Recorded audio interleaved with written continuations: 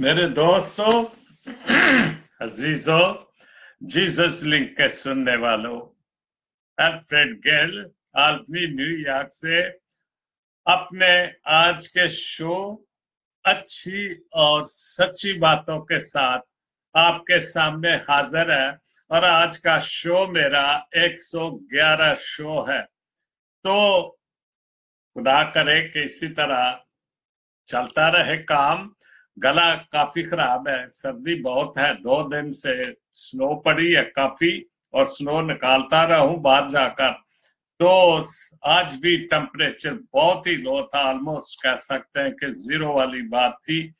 तो इस वजह से गला काफ़ी खराब है, लेकिन अपने इस प्रोग्राम को जारी और सारी तो मैंने रखना ही रखना है। जब तक के खुदा अच्छी से तो तंदुरुस्ती अता करता रहेगा। तो आज का शो मेरा कुछ इस तरह से है, सच्ची और अच्छी बातों के साथ कुछ अच्छी बातें, सच्ची बातें और कुछ शायरी आज ज़्यादा है। तो आज की इस सारे शो को आप ज़रूर पसंद करेंगे। थैंक यू, शुक्रिया कि कल का शो जो शांति नगर पर था, आप लोगों ने काफ़ी पसंद किया और पसंद करना चाहिए भी था, क्योंकि वो एक बहुत बड़ा अलमनाक वाक्य हमारी मसीही कौम के साथ था। तो सबसे पहले तलाते कलाम पाक तो आज का एक जबूर, एक सौ चौतीस जबूर, सिर्फ़ उसकी तीन आयात हैं, सिर्फ़ मैं वो ही पढ़ूँगा। आए खदामंद के बंदो आओ सब खदामंद को मुबारक कहो। आओ हम सब मिलकर खुदावंत को मुबारक कहे।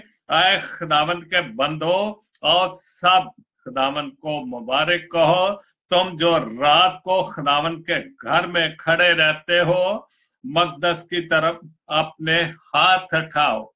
मकदस की तरफ़ अपने हाथ उठाओ। और खुदावंत को मुबारक कहो। खुदावन जिसने आसमान और ज़मीन को बनाया, सहून में से तुझे बरकत दे। आमीन। खुदावन के पाक कलाम के पढ़े और सुने जाने पर खुदावंद अपनी बड़ी बरकत बख्शे। आमीन। तो आज का शो शुरू करता हूँ, जो शो 111 है। तो सबसे पहले आज जो कुछ बातें हैं, वो है शहरी शहरी मुगल, आहिस्ता चल ज़िंदगी। आहिस्ता चल ज़िंदगी, क्योंकि ज़िंदगी तेज चल रही है और बहुत सारे जो हम खाशे रखते हैं कि हम अपनी ज़िंदगी में पूरी कर सके तो इसलिए ज़िंदगी से रिक्वेस्ट ही करते हैं कि ज़िंदगी आहिस्ता चल।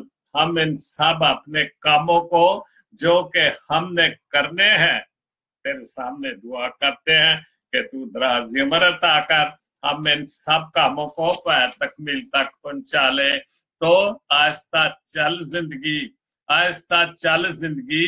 अभी कई कर्ज चुकाना है, अभी कुछ कर्ज चुकाना है। कुछ दर्द मटाना बाकी है, कुछ फ़र्ज़ निभाना बाकी है। कुछ दर्द मटाना बाकी है, कुछ फ़र्ज़ निभाना बाकी है तो यही रिक्वेस्ट है। शेरी मुगल ने बहुत अच्छी है जो पोस्ट है डाली, कुछ दर्द मटाना बाकी है, कुछ फ़र्ज़ निभाना बाकी है। रफ्तार में तेरे चलने से कुछ रूट गए, रफ्तार में तेरे चलने से कुछ रूट गए, कुछ छूट गए। ज़ाहिर है, तेज चल रही है। तो बंदे नाराज़ हो जाते हैं, यार हंसता चल, हमें भी साथ में ला के चल। फिर कुछ नाराज़ हो जाते हैं, कुछ रूट जाते हैं। तो इस वजह से रफ्तार में तेरे चलने से कुछ रूट गए, कुछ छूट गए। रूटों को मनाना बाकी है, रुतों को हंसाना बाकी है। ज़ाहिर है तो ज़िंदगी से यही हर वक्त इल्तजाई करते हैं। खुदाबाद जी, दराजी उम्र अता कर। बहुत सारी चीज़ें हम जो नहीं कर सके या हम अपनी ज़िंदगी में करना चाहते हैं, हम उस मालक से, उस खालक और मालक से दुआ करते हैं कि हमें कुछ करने का, कुछ ठहरने का, इस ज़िंदगी की ज़मीन पर ठहरने का ही कुछ और मोहलत दे। रूट को बनाना बाकी है, रुतों को हंसाना बाकी है। कुछ हसरतें अभी अधूरी है, कुछ काम भी और ज़रूरी है। बहुत अच्छी बात। अभी हम जो अपने दिल में हसरतें खाशे रखते हैं, ज़िंदगी से दरखास्त करते हैं कि थोड़ा ऐसा चल, उन हसरतों को पूरी कर लें और जो कुछ काम करने रह गए हैं, उनको भी मोहलत दे ताकि वो भी हम अपनी ज़िंदगी में करके जाएँ। खाशें घट गई इस दिल में इनको दफनाना है। खाशें जो दिल से घट गई हैं, इनको दफनाना है। आए ज़िंदगी आहिस्ता चल। तो कुछ रिश्ते बनकर टूट गए, कुछ जुड़ते छूट गए। कुछ रिश्ते बन के छूट गए। ये तो दुनियादारी है। कुछ रिश्ते बनते रहते हैं, छूटते रहते हैं, चलती रहती है ज़िंदगी और इसी तरह रिश्ते और दोस्तियाँ तो ज़िंदगी के साथ साथ चलती रहती हैं।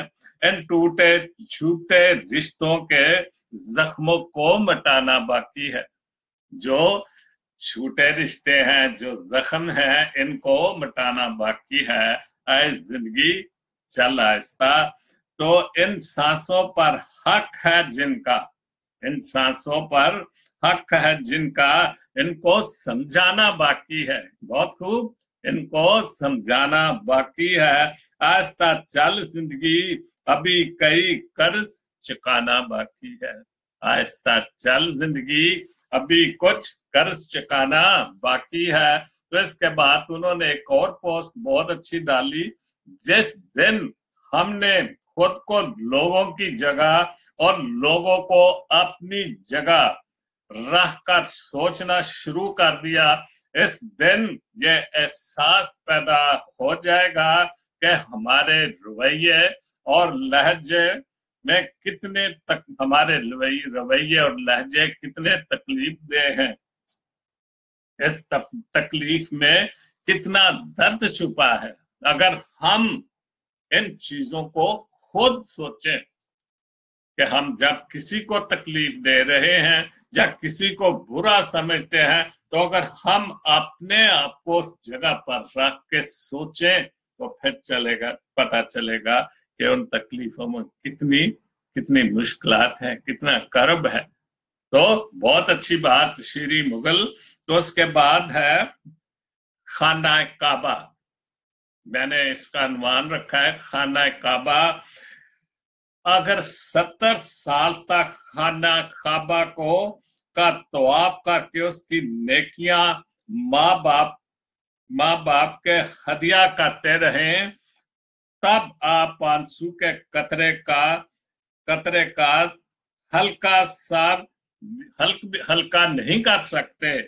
तो जो आपकी बदसलूकी की वजह से आपके माँ बाप की आँख का गिराता आप सत्तर बार भी कहना काबा का तोयफ करें, वहाँ जाए, हज करें या उम्र करें, लेकिन जो बदसलूकी हमने या हम अपने माँ बाप से कर रहे हैं, उसका एक कतरे का भी हम पूरा हिसाब नहीं दे सकते। और वैसे भी उस हज का क्या फ़ायदा या सुमरे का क्या फ़ायदा? या क्रिश्चियन लोग जैसे हैं वो बड़ी ख्वाहिश रखते हैं इसराइल जाने की, रोम जाने की, पोप से मिलने की। तो इन सारी चीज़ों का क्या फ़ायदा? अगर हम अपने रिश्तेदारों और सबसे बढ़कर जिन माँ बाप ने हमें जन्म दिया, जिन्होंने यहाँ तक हमने पहुँचाया, अगर हम उनको खुश नहीं कर सकते तो ये सारी चीज़ें बेकार हैं। बहुत अच्छा ये जो चीज़ है इसके बाद है मक, मकाफात अमल शेख अब्दल जलानी। तो ये दीन और दुनिया ने अपनी पोस्ट में लिखा है जो रिश्ते तुम्हें तकलीफ़ दें इनसे दूरी इख्तियार कर लो। बिल्कुल। जो रिश्ते आपको तकलीफ़ देते हैं आप क्यों इतनी परेशानी में रहते हैं? थोड़ा पीछे हट जाओ। आप अपना आपको भी जो आपकी टेंशन है, वो कम हो जाएगी, वो खुद लौट आएँगे मगर इस वक्त जब तुम्हारे दिल से उतर चुके होंगे, जब वो लौट के आएँगे तो तुम्हारे दिल से तो वो उतर चुके होंगे बिल्कुल ठीक बात है, क्योंकि वो तुम्हारी कदर से नहीं पछताते, पछतावे से नहीं लौटते। जिसकी दी हुई तकलीफ़ है तो आज तुम आज रोए हो, वो कल तुम्हारे पछतावे में रोएँगे। जिस तकलीफ़ से आप उनकी वजह से रोए हो तो कल जब वो वापस आएँगे और आपके रवैये भी बदल चुके होंगे तो वो खुद भी और अपने उन रवैये से रोएँगे। इसके बाद जीन फेगोरी को कौन नहीं जानता? अभी ज़्यादा जो है, गजलें और नजमें हैं, शायरी है अभी ज़्यादातर। तो जीन फेगोरी ने बड़ी छोटी बहर की, बहुत ही छोटी बहर की एक नजम या गज़ल लिखी है। हर कदम पे शिकस्त खाई है। क्या बात है? ये तो मेरे इसलिए शेर है। जब महफिले करते थे, गजलें गाते थे तो कई लोग बैठे हुए सब जी फिर बोलो, ये शेर मेरे ते जाता है, ये मेरे ते बीती है तो मैं आज यही कहन लगा वा गौरी साहब नु, हर कदम पे शिकस्त खाई है, उम्र भर की यही कमाई है। बिल्कुल यही कमाई है। बेवफाई देखी है। लोगों के साथ प्यार करते करते थक गए हैं। बेवफाई के सिवा कुछ नहीं देखा और शिकस्त खाई है। लेकिन उस उस मालिक का शुक्रिया हमें इतना मौका तो देता है कि हम किसी के लिए कुछ कर सके। बहुत अच्छे गौरी, तेरी दुनिया के हम असीर हुए, तेरी दुनिया के हम असीर हुए, इस असीरम, इस असीरी में भी रिहाई है। तेरी दुनिया के असीर हुए, इस असीरी में भी रिहाई है। बहुत अच्छे, आज अपना लिया हमने तुम्हें। आज अपना लिया हमने तुम्हें, आज ज़िंदगी बनाई है। बिल्कुल ठीक बात। जब हम इसको शादी ब्याह की तरफ़ ले जाए, जब हम किसी को दे देते हैं तो अपनी ज़िंदगी, दिलो जान सब उसको दे देते हैं तो शायर ज़िंदगी तो फिर उसकी हो जाती है। तो आज ज़िंदगी पराई है। गौरी साहब, अगर मेरी को तशरी में गलती हो तलफज में तो सॉरी। तो हमने तो रस में, हम तो रस में वफा नभा ना सके। हम तो रस में वफा नभा ना सके। तुमने रस में जफा नभाई क्या बात है। तुमने रस्में जफा मगाई है। नभाई है। हम तो रस्में वफा नभा ना सके। हम अपने आप को ही जुर्म ढाट रहा हैं कि हम तो वफा कर ही नहीं सके। लेकिन तुमने तो अपनी जो भी, जो दुनियादारी है, जो जफा करते हैं, वो तुमने तो कर ली। बहुत अच्छा। तो रात में कैद है, चिरागे रो रात में चिराग है, सारी रात में कैद है। चिरागे लो, रात के बाद फिर रहा ही। है क्या बात है? रात के बाद फिर आज़ादी मिल जाती है।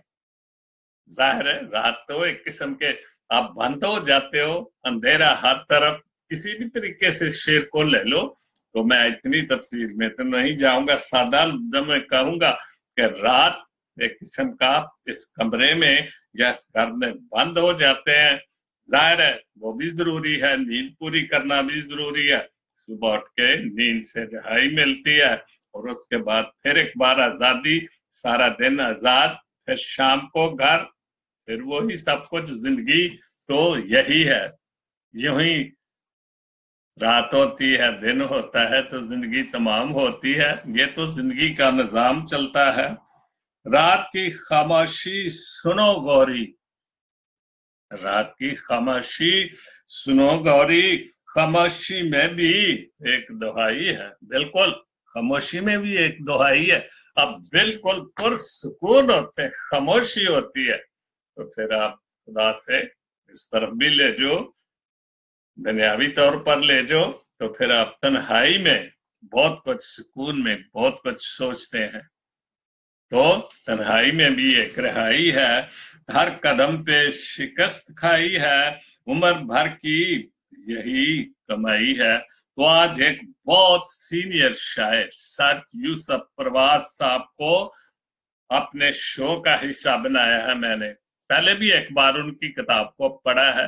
फिर आने वाले दिनों में काफ़ी जो भी जैसे रोज़े शुरू हो रहे हैं तो ज़ाहिर उनकी किताब में काफ़ी चीज़ें होंगी।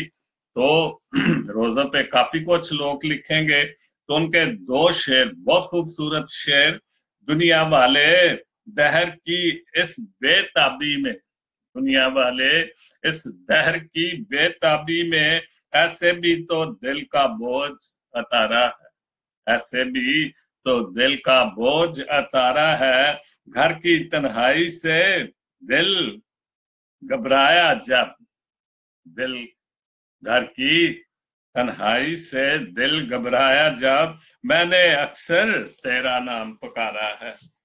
ये ऊपर ले जाए कि जब भी हम तनहा होते हैं, जैसे भी गौरी का शेर एक पड़ा तो जब हम तनहा होते हैं, हम अपने मालक को याद करते हैं। जो कुछ हुआ हम पर बीता, या हमने गलतियाँ की, हम उसके उसके पास हम उसका नाम पुकारते हैं, उसका नाम लेते हैं। तो सर यूसुफ, अगर को गलती, गुस्ताखी हो तो माफ़ी। तो गज़ल यूसुफ प्रवास साहब की, सर यूसुफ प्रवास साहब की एक गज़ल। मेरे ख्याल दो के तीन गजलें उनकी मैंने ली हैं। एक एक एक लम्हा अब खिलवत में डसता है, जो भी तन्हाई वाली बात ही आ गई। एक एक लम्हा अब खिलवत में डसता है तन्हाई में अब रहना मुश्किल है। ये बहुत अगर मैं इसको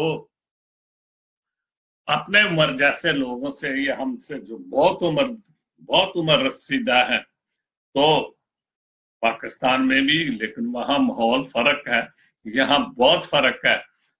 अकेले अकेले आदमी घरों में बैठे होते हैं, बुज़ुर्ग तन्हाई में बैठे होते हैं तो तन्हाई फिर वो जो उनको गुजारना मुश्किल ही होती है। मुश्किल होता है रहना, लेकिन जब तक भी खुदा ने जिंदों को ज़मीन पर रखना है, इस तन्हाई को बर्दाश्त तो करना है।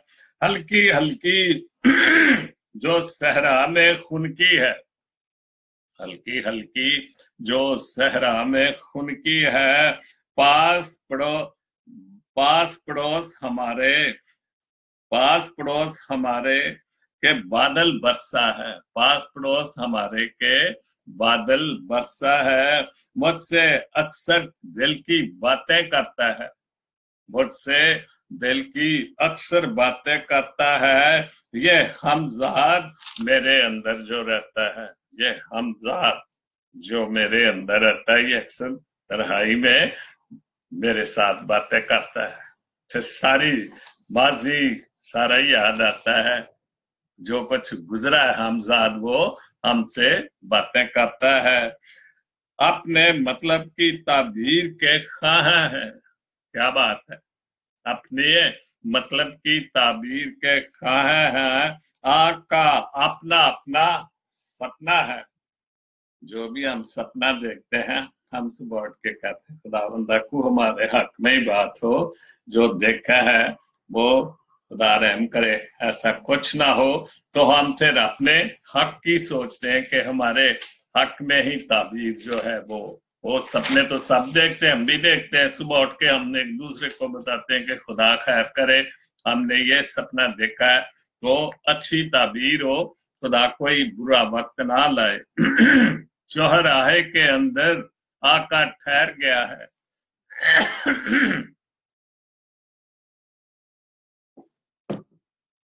चौराहे के अंदर, आकर ठहर गया है। इन रिश्तों में नया कौन सा रिश्ता है? चौराहे में आकर ठहर गया है। इन रिश्तों में कौन सा रिश्ता है? आप बहुत बड़े हजूम पे खड़े हैं। पता नहीं मैं गलत ना हूँ तो आप देखें कि इन रिश्तों में कौन सा रिश्ता अच्छा रिश्ता है या कौन सा रिश्ता है जिसको हमने निभाना है। अजब है इंसानों की मंडी भी। अजब है इंसानों की मंडी भी। जो मिलता है, एक से बेहतर मिलता है। क्या बात है। बहुत अच्छा साथ जी। जो मिलता है, सबक ही दे के जाता है।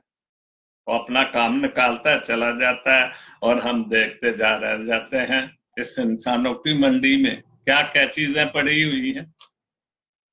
तो बहुत अच्छे इंसानों की मंडी नूर एक काफला हर जन्म को फैला है। नूर एक काफला हर जन्म को फैला है। लम्हों के संग सूरज आगे बढ़ता है।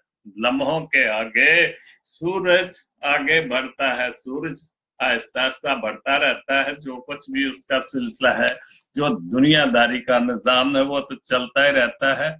नील बता, ऐसा भी कोई दरिया है। नील बता, ऐसा भी कोई दरिया है जो दखन से उत्तर को बहता है? जो दखन से उत्तर को बहता है दरिया नील से बात कर रहे हैं को ऐसा कोई दरिया है जो दखन से उत्तर को बहता है? नहीं, पंजाबी में दखन, उत्तर, ये जैसे मशरक, मगरब तो तो ये सारे नाम हैं। प्यार की अपनी शक्ति का एजाज है। प्यार की अपनी शक्ति का एजाज है। देखने, देखे दहकते अंगारों पे इश्क चलता है। क्या बात दहकते अंगारों पे इश्क चलता है, जो सच्चा इश्क है। झूठा इश्क नहीं, आजकल का जो इश्क है वो नहीं। जो इश्क था, हकीकी इश्क है वो सच्चे अंगारों पर भी चल जाता है। बहुत अच्छे सर यूसफ प्रवास साहब। उसके बाद उनकी एक और गज़ल, इश्क छूने लगा इंतहा, क्या करूँ?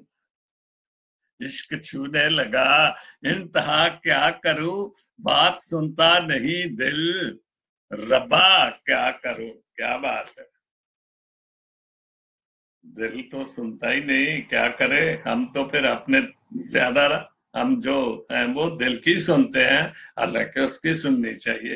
तो इसलिए यूसुफ साहब ने कहा है प्रवाद साहब ने, कि बात सुनता नहीं दिल, रब्बा, क्या करूँ? पहली पूजा से यूँ दिल शिकस्ता हुआ। पहली पूजा से दिल यूँ शिकस्ता हुआ। हाथ उठते नहीं, अब दुआ क्या करूँ? हाथ उठते नहीं, क्योंकि दिल नहीं मानता कि हाथ उठाए अपने रब की तरफ़, अपने मालक की तरफ़। दिल नहीं मानता तो फिर प्रवास साहब कह रहे हैं, हाथ उठते नहीं, अब दुआ क्या करूँ? बंद बस्ती के गलियों के दर बंद है, बंद बंद गली, बंद बस्ती की गलियों के दर बंद है, रास्ते बंद हैं। बैरी दीवारों से इल्तजा क्या करूँ? जब कोई सुनता ही नहीं। तो दीवारें भी बहरी होगी गुंगी हो गई। तो फिर उनसे क्या क्या मैं इल्तजा क्या करूँ उनके साथ? सारी मैंने पहले रिक्वेस्ट की थी कि तलक काफ़ी खराब है। इसको बस सर्दी बहुत ज़्यादा है। ज़िंदगी तुझसे की है बड़ी सारी। वक्त के साथ मिट जाते हैं नक्श भी। वक्त के साथ मिट जाते हैं नक्श भी। उड़ गया है रंग तस्वीरों का। बिल्कुल। वक्त के साथ साथ हर चीज़ नक्श जो है मिट जाते हैं। कब जहाँ जवानी थी। अब क्या नक्शो नैन है? क्या जवानी में थे? तो वक्त के साथ साथ तो तस्वीरों का रंग भी उड़ जाता है ही पड़ जाती है। बहुत सारी चीज़ें ज़िंदगी में जो आपने देखी होती है, एक वक्त आ जाता है कि दिल बुझ जाता है। तो उन्होंने मेरा ख्याल, मैं अपना तशरी करता हूँ, उन्होंने क्या लिखा है?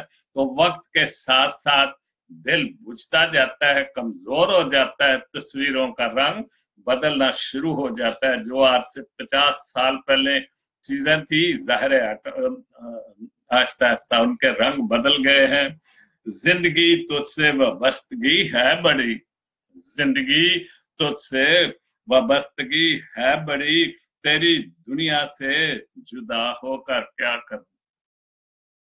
ज़िंदगी से जुदा तो नहीं हो सकते। वो तो जैसी है, चलाना है, गुजारा करना है, गुजारनी है। तो मेरी, मेरे हमरा परेशान है सारा जहान, मेरे साथ। जो हम जैसे लोग हैं, वो सारे परेशान है। मेरे मेरे हमरा परेशान है सारा जहाँ नफरतों की जलती हवा, क्या करूँ? बहुत अच्छे, सर जी।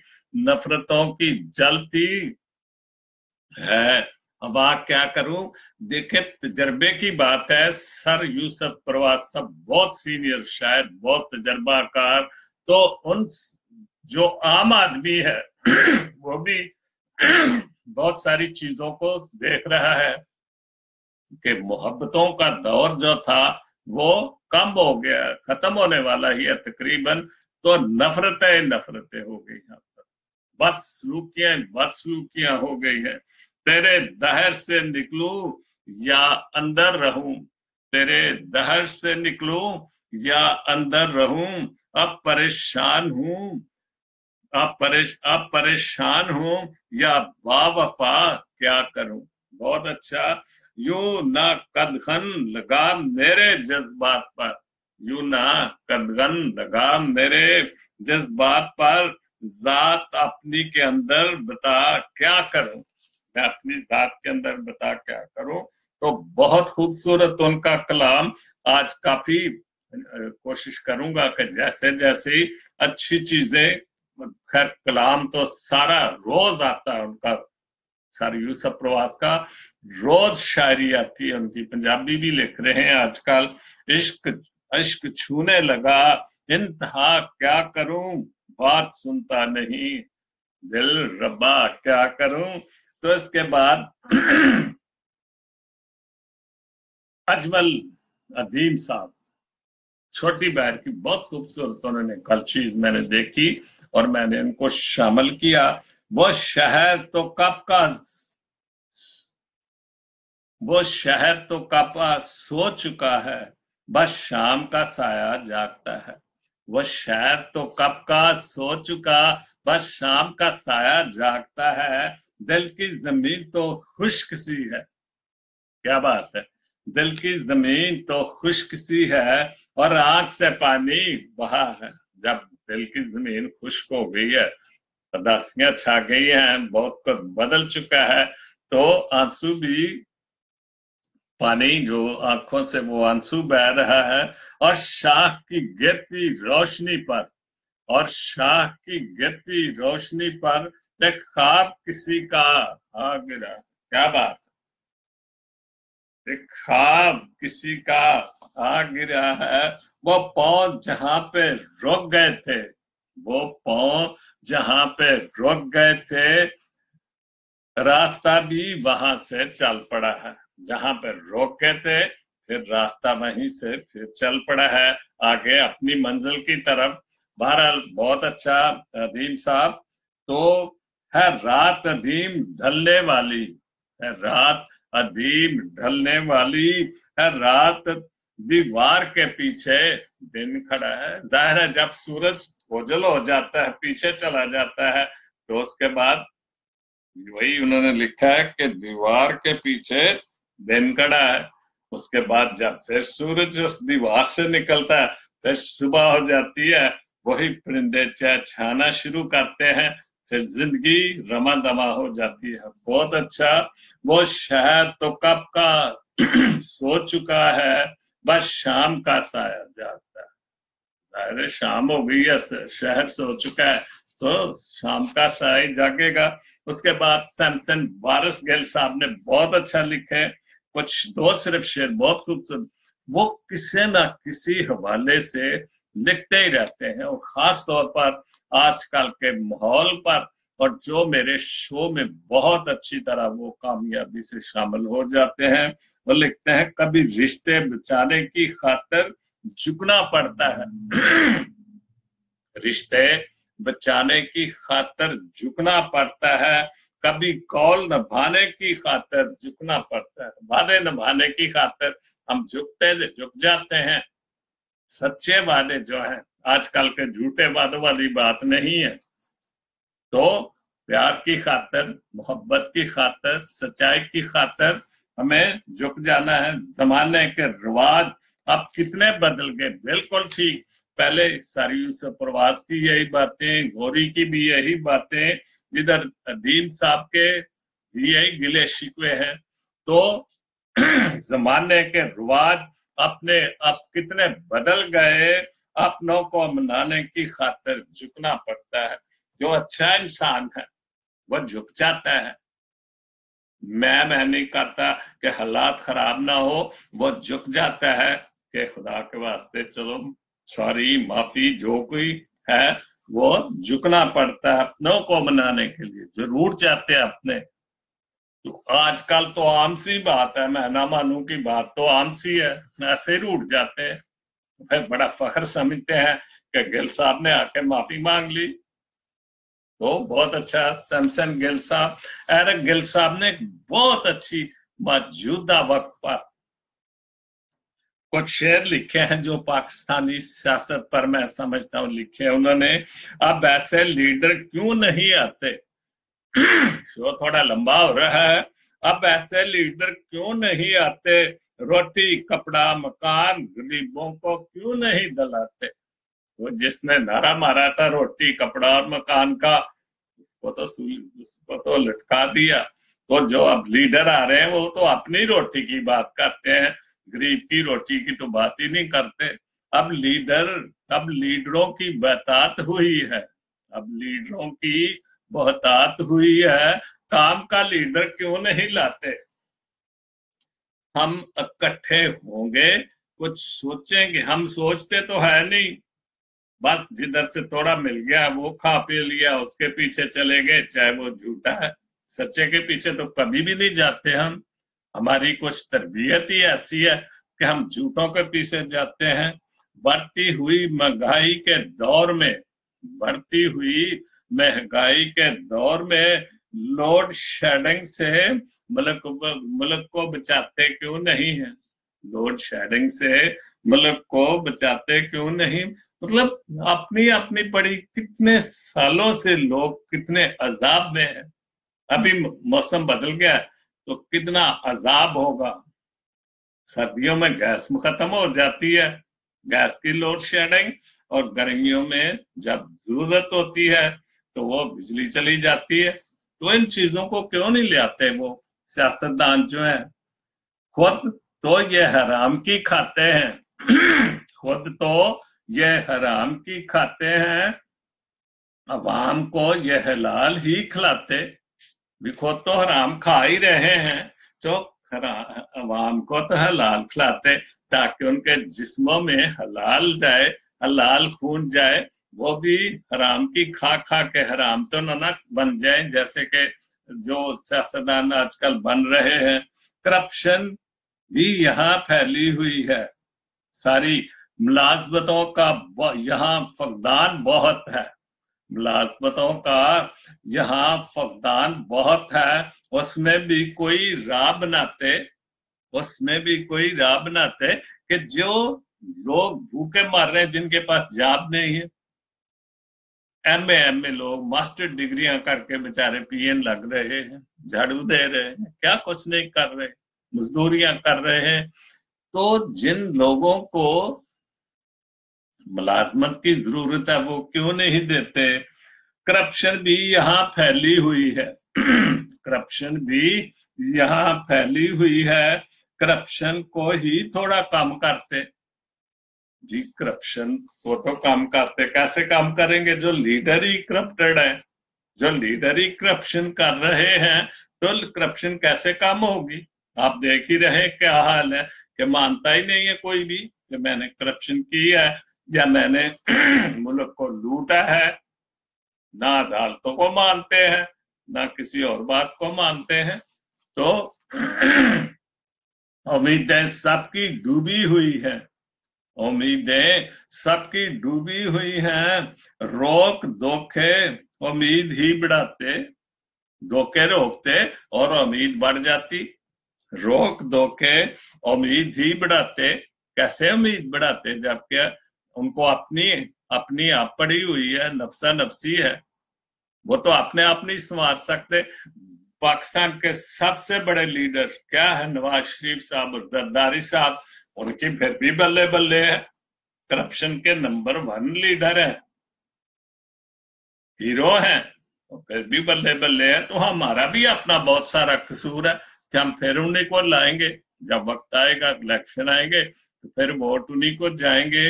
अब ऐसे लीडर क्यों नहीं आते? रोटी, कपड़ा, मकान, गरीबों को दिलाते। बहुत अच्छा गिल साहब बहुत अच्छा आपने लिखा है, एरक गिल साहब यूएसए में है। इसके बाद वो दो खूबसूरत शेर बाबा नजमी ने, सारे शो का मैं निचोड़ कहता हूँ। उन्होंने लिखा, अपने अपने ज़ोर बखाले जावन गए अपने अपने ज़ोर बखाले जावन गए एक दूजे दे चोर बखाले जावन गए क्या बात है।